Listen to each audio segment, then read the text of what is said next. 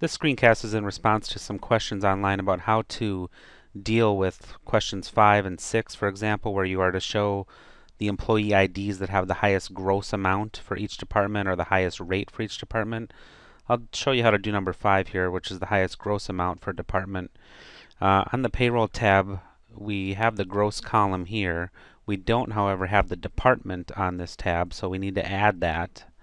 And so I'm just going to create a column here that uh, we'll use and we'll use a VLOOKUP formula to look up the department on the employees uh, worksheet and that's uh, in column 7 okay so R29 is the department for this first employee. I'm just going to use my little trick of putting an X at the bottom to uh, extend that formula down. So now we have the department for everybody here. So now we can create our pivot table. So our pivot table that's fine. We are going to add up the gross. Um, let's see if we can format that. Um, let's see, we're going to put the department here, and then we will also put the employee IDs.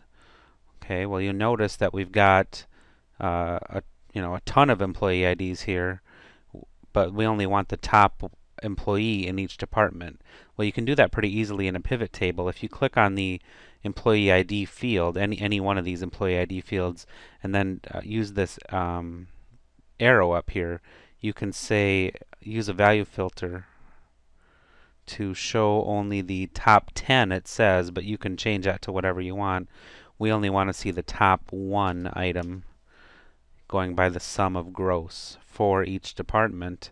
And so you'll see that there's actually two employees that tie for de department H12. So we actually have four employees showing up here. But that's uh, that's how you do that. Use the um, the value filter and then top 10 and change it to whatever you want. Now you notice when I clicked over in the amount that value filter looks like it's not selected. It's only if I click back over onto the employee IDs, now you'll see a checkbox next to the value filter. And then if you want to get rid of it, you can use this clear filter or you can change it to something else. Um, but that's how you do it. It's not very complicated and uh, it's kind of a hidden feature though. So if you don't know to look in there, you might struggle for a while trying to figure that out.